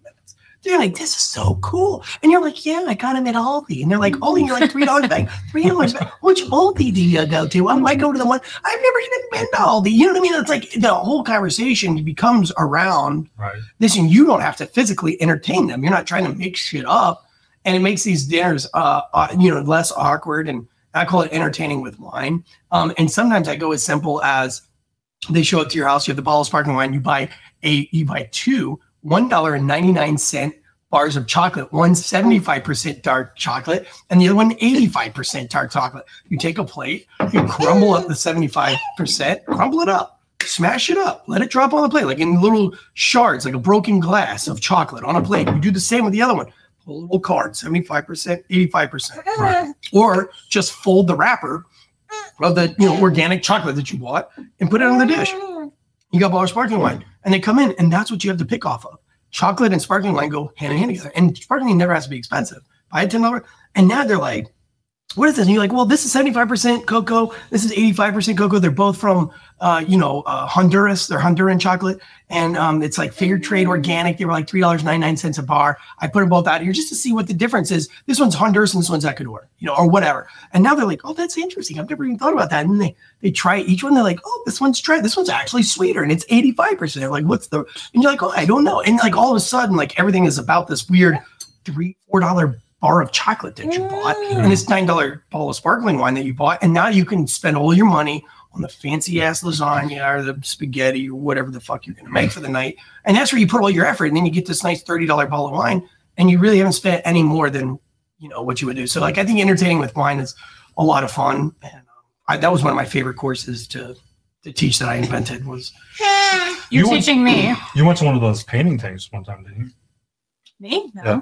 What did you do with the girls, or was there? That was a just one? birthday party. Ah. that was a birthday party, and it was a them party, and I was just the driver. Did we do this already, No, we did not. or was I it? Did I even record for you? um I don't know I was talking so um I've been I- I've been waiting because I, I didn't want to I didn't want to jump ahead. You know, I wanted you, you're kind of walking us through this, and I'm I'm worried that it's like no man, that one was supposed to sit for a minute. as I just put that like super spicy meat in my mouth.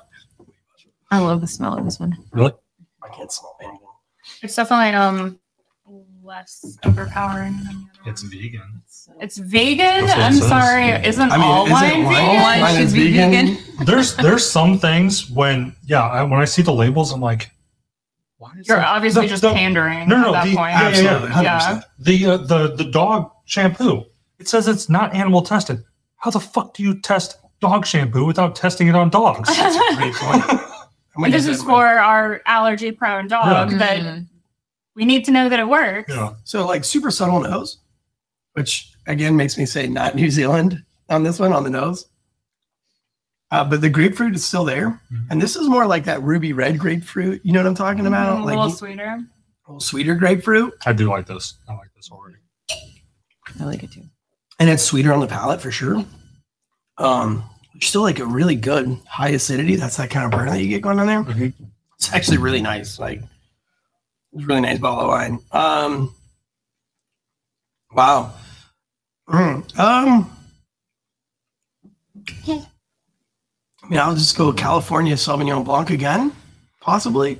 Sauvignon right. Blanc, yeah, but Not, it's not New Zealand though. no. Give me one second. Let me, let me play with it here. So it's clear. Not color too. Okay, I, should, I guess we should ask how many variations of Sauvignon Blanc, like how many locations in the world are really known for that wine? Um, you can have like a Chilean Sauvignon Blanc, Californian Sauvignon Blanc. I think now, like even like Washington's starting to make some Sauvignon Blanc. I've heard that like maybe Texas was flirting around with it, which I, I've never had that. I, I would think that Texas would be too hot for it. Um, New Zealand's like probably the most popular, but that is like cat piss smells like cat urine. I don't know. The I- seven ninety nine New Zealand Sauvignon Yeah, Blanc always smells like cat Costco. We still is- drink it. I drink it, but it smells like cat urine. I- Oh, what did they say when you smell that? What Cassis. Cassis. Cassis is what you'll hear Fuck out like of here. It's cat wine piss. people say, Ah. but that just translates to. I like cat. it. I still drink it, but it Yeah. smells just like cat urine. If you think about it too hard. That's that's the uh, same thing we were talking about. The difference between people local here calling cockroaches water bugs. Oh, It's a cockroach. Yeah, this is like super interesting. Um, To be clear, I was not trying to trick him. I don't know anything about wine. I couldn't trick him if I tried. I, I mean, like the only time it's like such a subtle Sauvignon Blanc taste, and it's typically blended, is in France. So like maybe this is like a weird French um, non-blended Sauvignon Blanc, just Sauvignon Blanc on their own. So I, my guess on this is French French Sauvignon Blanc. Chile. I was Chilean. I said that. Well, I didn't say it, but Chilean is a is a really great place. Um, the funny thing about Chile is a lot of the winemakers in Chile are French because during the uh, Phylloxera pandemic, or the, the little nematode that wiped out all the France vineyards, they all fled to Chile and Argentina and started making wines there. So that's why like Carmenere tastes so much like Merlot, and it's almost like impossible to tell the difference because it's the French started growing Interesting. like the as close to a Merlot as they can How, get. how much? This is really good though. Um, and because it's Chile, it's probably super cheap, yeah. Super cheap, um, like inexpensive. Yeah. But yeah. honestly, this is like maybe one of the top super tasty. top I like it. Sauvignon Blancs I've had. Thank you, um, woman from Bridgewater, Really great. for Um, recommending that one. That is really good. I yeah, I just guessed France because it's so subtle, and France is so subtle with their Sauvignon Blanc, and um, but Chile is super rad place to. Yeah, like I, I don't drink a lot of Chilean Sauvignon Blanc, so so even when we were talking about doing the tasting, and there's like no. that, I just don't drink it's hard to find. I didn't even I didn't even know that you were going to be able to identify locations. So that wasn't even a consideration for me. I thought you were more saying that you were going to try and guess what kind of wine, but I thought that was obvious. So I I I didn't even know what Well, when- a when wine you're tasting testing- would be. When you were testing for wine, they'll pour you three red wines, and they'll pour you three white wines, and they're just in a glass. Yeah. and you gotta go through all, of them, and you gotta get seventy percent each glass. So Seventy percent like identifying Accuracy. location. right, like like Date. location, date, yeah, seventy percent of those. And so like if it's not Sauvignon Blanc, but it was nineteen ninety eight, then I got nineteen ninety eight right, but I got the, the grape varietal wrong. There's also like then a the region. scale of like acidity and like calling out the right color. Yeah, there's the a right- lot. I- Is there ever or has there ever been an instance where something was misrepresented or mislabeled? Like it maybe they call it Sauvignon Blanc, but it's actually closer to something else from the, So I did a wine tasting in front of a whole bunch of people one time. Um, and when I do a real wine tasting, I have like my paper, Mhm. I have all my notes, like like my indicators that I played with in my brain. Right. Like I have my stone fruits, all my fruits, and I look at this paper and I kind of like mark it off in my like what I taste and what I don't, and then I add them all together, and then that's what I come up with. Like I'll say like, okay, it's high acidity. So I was in this wine thing, and I was it, it was a really important one, and there's a lot of people. I mean, it was just you know, it was it was a big deal. So for me, it was especially a big deal. My wife was there, and um, so I'm doing the wine thing, and they were like, okay, and, and the red wines I got 100 percent, like date, time, place, everything, like nice. perfect. They were easy, three white, and then they had one white wine, two white wines.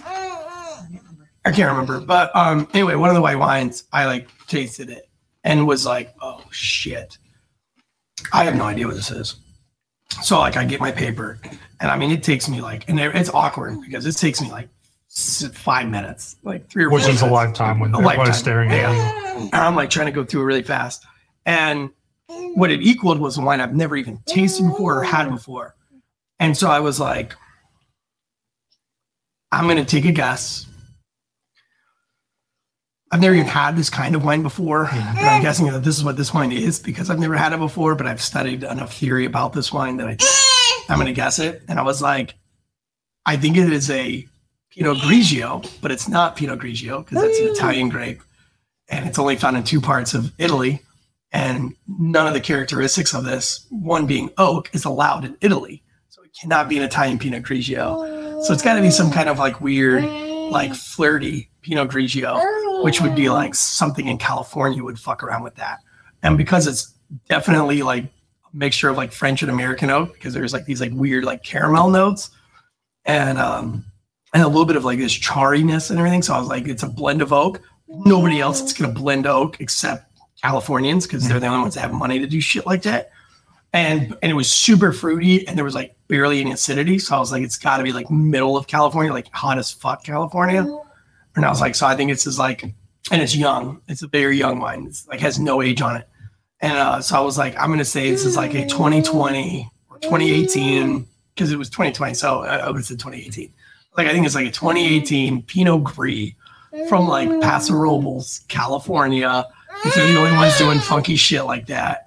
And I bet because it's there and they're like really proud of themselves, I bet you this is like a $22 bottle of wine. And it should not be. Like you could get a Pinot Grigio in Italy for like eight bucks. Same way. But I mean, this is cool.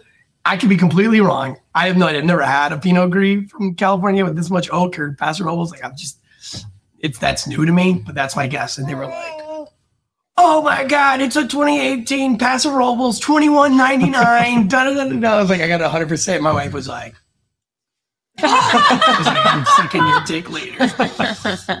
That's awesome. I That's crushed crazy. it. I never had that wine before. Um, that's- and that was cool, but That's nuts. That's. I could probably get That was close a to that with luck. some whiskey. Yeah, I was gonna say definitely whiskey or bourbon, bourbon for you, Yeah. but not wine. Yeah, but see, like you know, that's you know, I like I drink a lot of whiskey Moreau, distillery and everything, but you know, like you're flirting with one region, Yeah. Kentucky or Tennessee or like America. Yeah. You know, with wine, one there's white and there's red, there's sweet, there's fortified, there's sparkling, there's still, right. and you're talking about like Lebanon, Syria, Australia, Argentina, North and South. You're talking about France, Italy, Spain. I mean, this is like the list goes on. That's why I say, like, when you think you know something about wine, you take a look back and you're like, God, I don't know shit about wine. Like, How um how if you had to just eliminate everything and you could only have one variety or varietal I don't uh, if is variety the wrong word no, entirely that's right. okay Yeah. One, Um, one grape varietal. one region Uh-huh. one grape varietal Oh, wine You're varietal being a dick. yeah what, That's a mean place. what, what would that Which one last would you marry? the last man No. standing be I mean, I, I couldn't. I mean, that would be so hard. That would be like saying, like, well, who's your favorite child? you know what I mean? Like, how do you pick? Like, you know which one you like right now, but like, uh, yeah. What about you, honey? I, I like I like Bordeaux. Okay, but so like, like- so you're gonna just give up Br- Br- Brunello's forever? I Like, have that would be depressing.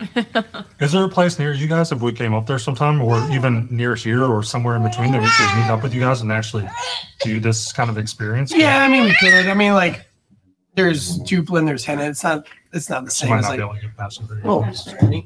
Oh, um, you know, um, Yadkin Valley, which is like probably like three or four hours from here. Mhm. Yadkin Valley, three hours probably from here because you've never even heard of it. Born and raised It's like here. between here and Boone, She also didn't know anything about Jordan's dad being murdered. Elkin, North Carolina, never been there. uh, Winston Salem, uh, uh, Pilot Mountain. Um, that's the Andy Griffith Show, Avery County. That's where they filmed the Andy Griffith Show. I never saw it. You know the Andy Griffith Show, I grew up without TV. Yeah, she didn't have electronic shit. but you know the Andy Griffith Show, right? I've heard of it. I've never seen it. Uh, anyway, um, up there, there's some really great vineyards. Um, uh, Jolo Vineyards, one of my favorites. Um, he's growing some cool Sangiovese. RG. Okay, but going back to like Mariana, Mariana grape varietal. I mean, my wife lived in France for a while, and she taught French at NC State. She, we drink a lot of French wines. Um, so I mean, I like to have a happy life and a happy wife. I would say France because she's gonna have to drink this wine with me. Well, like if I was divorced. Um, and I'd be sleeping around anyway, so I wouldn't just pick one grape varietal. No, I'm just kidding. Um, I would pick Brunello's from It wouldn't be Boone's Farm. no Brunello di Montalcino from Italy. It's probably like my passion wine. I just really, really always enjoy those in every out, out circumstance. But it, it would suck, man, because then like what, so I can never drink sparkling wine again. I can never drink sweet wine. Like what like if you're having spicy food, you have to have sweet wine. Like if you're having Thai food, you gotta have a Riesling. I can't imagine having Thai food without a Riesling, or you know what I mean. Like I can't imagine having steak without a, you know, a, a big cab or Syrah. You know, like Yeah. uh, it would just suck to have to pick one. I would pick bourbon. So you're sommelier. You own a distillery. Everyone else is doing the seltzer thing. What would it take for us to? I made a seltzer like two years in a row. It's Really? good. What would it take for us to make a wine? Man, the um, beverage industry is just the, the, the bureaucracy of it. I mean, we're taxed 38%. Wow. It's depressing. Like when you see how much money you made and then how much money you have to give the government, you're talking federal government, state government, county level. And I pay a sin tax, S I N, because I don't contribute to society. So I have to pay a sin Oh my god, that's make- a real thing. It's a real thing. It's the, depressing. The, the distillery or the product? the distillery. Okay. Um, So and I mean, like, you don't contribute to society Right, by having an establishment sin tax in a goes to, like- town. the sin tax goes to like famous who have been infected by DUIs and people who need AA and people that are on like court ordered. Like Um, it's a tax to pay for all that shit. Um, and that's just a North Carolina thing, but you can go to church enough. yeah, Yeah. I mean, I- honestly, like being making beverage is a whole other animal. Um, and there's just everybody wants in on it, right? Yeah. So like you got to pay the website people, you got to pay the marketing people, you got to pay the font people, you got to pay um, your attorneys, Right. you know, because like you're gonna get sued or people are gonna have something to say. Um, all the taxes. I mean, at the end of the day, like unless you're selling an absolute shitload of that alcohol, it's hard to make money in the United States with with with making beverage. So what do you do if you had a winery or a brewery? Are you paying the same? Well, they say they say like the quickest way to turn two million dollars into one million dollars is to open up a winery. it sounds like the uh, uh, boat people break out another thousand because everything it's always broken. There's Yeah, I mean, wrong. wineries are not generally big money makers. I mean, think about it. You have to have tractors. Those tractors are like three hundred thousand dollars each. Jeez. You gotta have laborers, tons of them. You gotta have baskets, totes. You gotta have hoses. These hoses are super expensive. You gotta have transportation to transport the wine around. Oak barrels are super expensive. Um, you pretty much have to have somebody working 24 hours a day, seven days a week, because you're checking fermentation levels. I mean, unless you have the money to automate it, now you're talking hundreds and hundreds of thousands of dollars, if not millions of dollars, automating your system. And then you have these cooling stainless steel vessels that are hundreds of thousands of dollars each. And you're probably going to have 15 to 20 of those in a bigger winery. Then you got to have a tasting room and lounge. And then you got to have boxes. And, you know, think about the cases. I mean, those, those boxes are $2 each. Right. Well, if you, you know, if you're shipping out thousands of boxes, you know, you're, you got to buy probably twelve, thirteen thousand dollars worth of just cardboard. Then you got to buy all the glass. That's another twenty thousand dollars for glass. And then you got to buy your corks and these and this little wrapper right here. This little wrapper right here is like three dollars. This little guy right here is like two dollars. You know what I mean? Like, I mean, not when you buy them in bulk, they're like cents, but you know what I mean? Then you got a back label, you got a front label. Um, you got to get your uh, numbers stamped into this. Stuff. I mean, there's just so much. Everybody wants a piece of that. I so I'll it's stay, I'll stay my lane. I'll stay. yeah, lane. I'm done. Like, I, dude, I'll never get back in the beverage industry. Like making beverage. You're, but you're still the distillery's still open, right? Yeah, yeah. But I you don't never- bottle rum anymore? Yeah, I do. I'm saying I'll never do it again. Like I'll never You start never another. start. Oh, Like if okay, somebody's okay. like, dude, let's start a brandy business or let's Gotcha, start a gotcha, wine okay, business, I'll be like, no, I'm good, dude. Like, I don't want to ever do like if I could sell a distillery tomorrow, I would. You See, know, A good idea. Okay, so that's a lot of work. it's up for sale if anybody wants it. Always the right dollar amount, the right blank check. Mhm. right, and you know maybe the book makes the you know makes me Yeah. a little bit of money to to do it, but it's a lot. I mean, there's a really great movie called Bottle Shock. Kind of like now that I own my own place, and I have for five years. When I watch the movie Bottle Shock, I'm like, oh shit! Like that movie's way more true than it's fake. And it's a great movie. It's got the guy from Star Trek. Um, what's his name, honey? And this this is specifically about the beverage making industry. I know it's about um, uh, sh- uh, Chateau Montelena, which was this uh, vineyard in California in the 60s and 70s. And they were making wine, and nobody in America drank wine, period. Like, wine wasn't cool, it wasn't a thing. Nobody was drinking it. And um, they wanted to enter this contest called the Showdown in Paris. And it's the biggest world ranking, uh, biggest snobbery. But if you win, uh, your wine gets picked up by like every restaurant of Right. caliber in the world. And Chateau Montelena, America had never entered uh, the, the showdown He didn't Paris. talk about it yet. He I was know. drink again. Well, his glass was empty. Yeah. so- Sorry. And um, and so anyway, he entered this. He entered it in the, into Paris, and it was like a big deal. And overnight, American wines became the next big thing. Mhm. It was in 1978, and without Cha- Chateau Montelena, it would have never happened. But the whole movie is about him trying to open a vineyard. Everything is crazy, and you know, like I said, hail and bad storms and bad vintages and running out of money, and the bank's not giving any more money. Needs new tractors and like anything that can go wrong is going wrong, and then they have to fight through it. But it's a great movie. A bunch of cool actors in it that you would know. Um, it's a very fun movie. There's like some boxing in there. It's like super funny, great. And I, it's a, one of my favorite movies. Like honestly, God, and it's called Bottle Shock, and it's got Paul, uh, not Paul Giovanni. It's got uh, babe. Can you look up uh, Bottle Shock and the actors in there? You'll know who they are, but um, you'll be like, holy shit, I know that guy. Oh, I know that guy too. So I never even heard of it. Of all the of all the movies that I pirated. Never heard of it. really fun movie. Really fun movie. when did it come out? Mm, Oh, I know Chris. Okay, yeah. So okay, Um, yeah, like remember the bad sheriff in Robin Hood with Kevin Costner? That's been so long. Like, I'll cut his heart out with a spoon because it'll hurt my uh, twit. Oh, you don't remember that guy? So it was like 99 or some ridiculous Robin amount of years Yeah, ago. sorry. Yeah. I'm 40, so. I only saw it one time, so I don't remember what happened in 99. But anyway, yeah, it's, it's, it's a really fun movie. Um, you should definitely watch it. But yeah, it's called Bottle Shock, and now that I watch that movie, I'm like, holy shit! Like, oh, that is so real. I'll have to get it. I'll try it out. She won't watch any movies with me anymore. She she'll only watch TV shows because she likes having that segmented.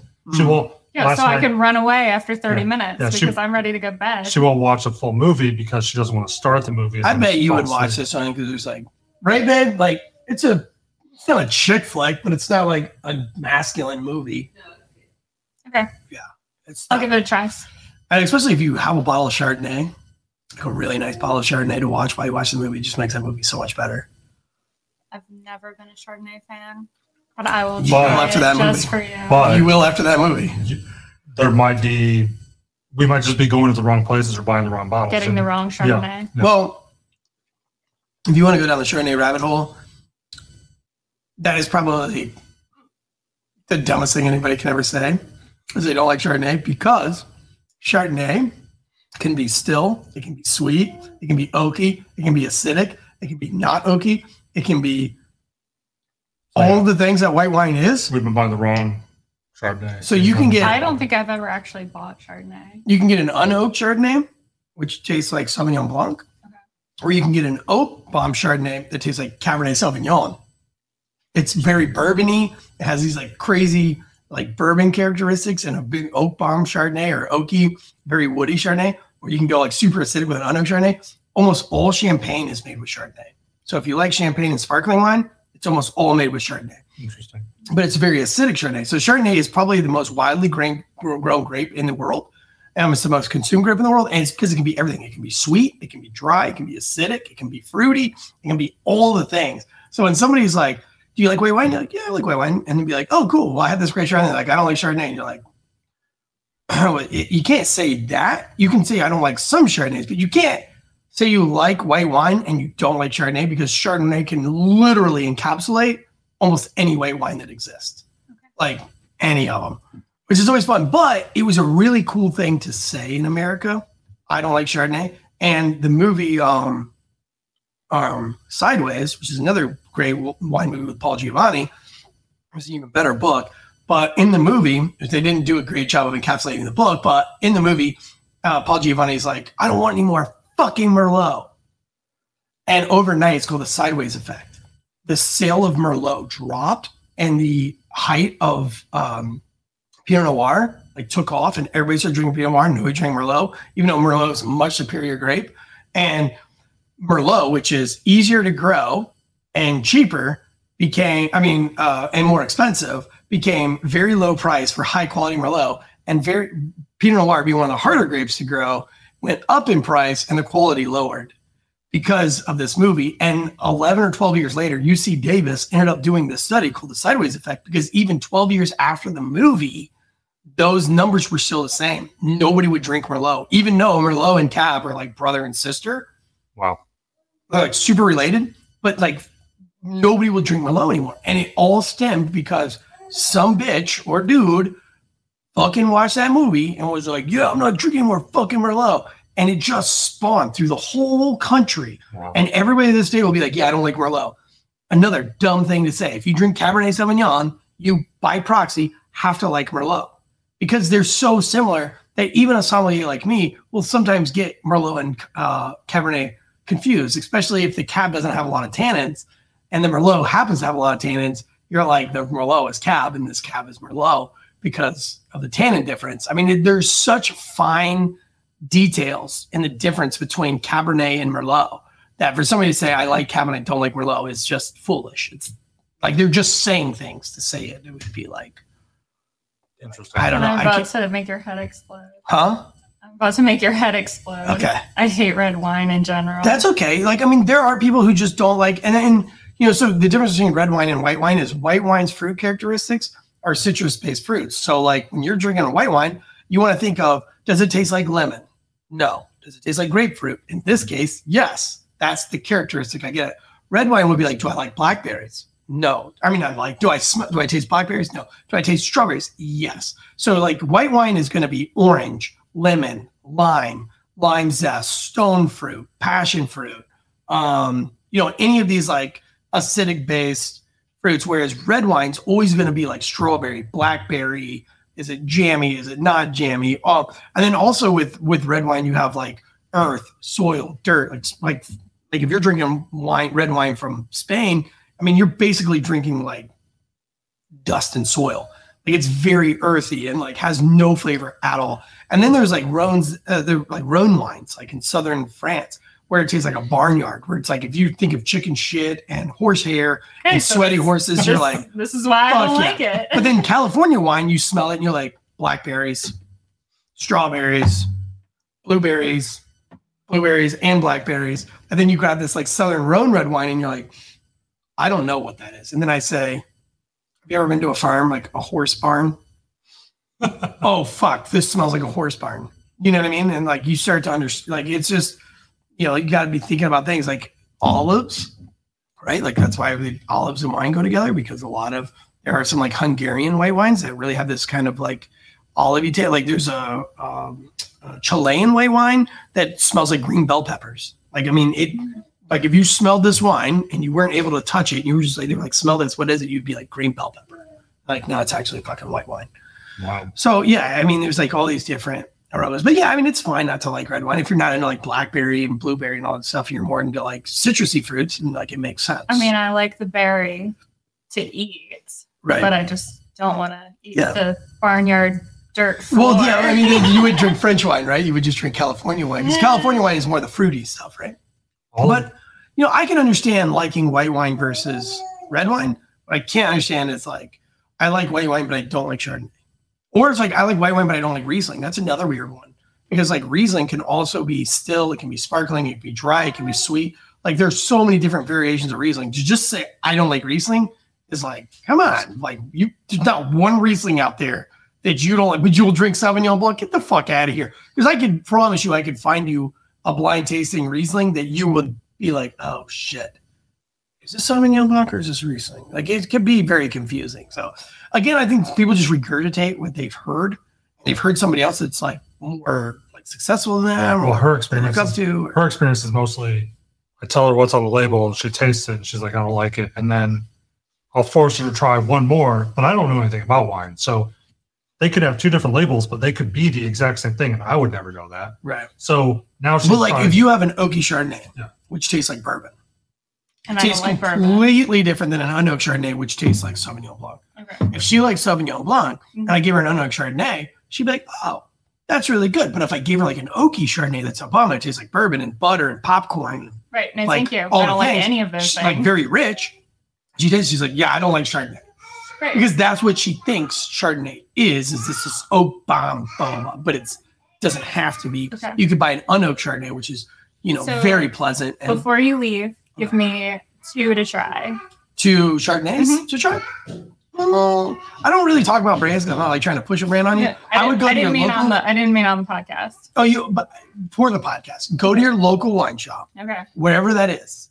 Local wine shop, not your Lowe's or your Right. Harris Teeter. Go to a local wine store. Find the wine specialist there, wine nerd. They are gonna love to talk to you and say, "I want to try an unoaked Chardonnay. Give me two unoaked Chardonnays." Okay. and that would be for your from what I've got to know in the last 30 minutes, hour, whatever. That's probably what you would like. Now, if you're a bourbon guy, maybe you go to the store and you go, I want your oakiest Chardonnay that you mm-hmm. have, and I'd like your most unoaked Chardonnay you have. We're gonna go home together and we're gonna try these because an oaked Chardonnay by a campfire is like tits for me. Like, dude, it's buttery, it's Oh thick, my god. caramelly. Like, I'm like, dude, I could drink this shit Really? you know, all night. You know, it's it does way more for me than than a cab or, or something like that. Now, if I'm having steak and I'm sitting inside, you know, maybe some red wine, but you know, watch Chateau Montelena and like you'll have a whole new appreciation for what I mean, not Chateau, the, the movie's called Bottle Shock. But you watch that movie, you'll have a whole nother appreciation. But you know, if you're a real wine nerd, you drink it all. You know, I mean, like you learn to love it all. I guess it's kind of like coffee. Yeah, it's like you learn to love it all if you're a coffee nerd. Um, and so for me, I'll drink No, red I'm wine. so white wine, picky sweet about my coffee. yeah. See, I'll drink everything. But when when it comes to wine, I'll drink everything. Red wine, white wine, sweet wine, fortified wine. I mean, whatever you brought me, I would find a reason to enjoy. it. So You're a very positive person. And I appreciate that. is that this one? I don't think you finished that one yet. I just love wine and I love the process. So there's really not a wine that I've found that I just don't like. I, I, I don't like the wines that are just a marketing gimmick. And I'll call them out as being a mm-hmm. marketing gimmick. And there are a bunch out there. But aside from that, that's the only thing that annoys me about wine. the the pretentious community Oh. or the pretentious part of the community that wants you to only like very specific, very Yeah, I mean, if anybody's like talking to you about like, I drink this Chardonnay and that's all I drink, man, they're fucking loser. You know what I mean? Like, it's a boring human, it's a boring existence. Yeah. Like, there's thousands and thousands of vineyards on the East Coast. right. You don't want to venture out and taste all of them. Like, what if there's something like, what if you're missing out on like the greatest thing that you've ever tasted in your whole life?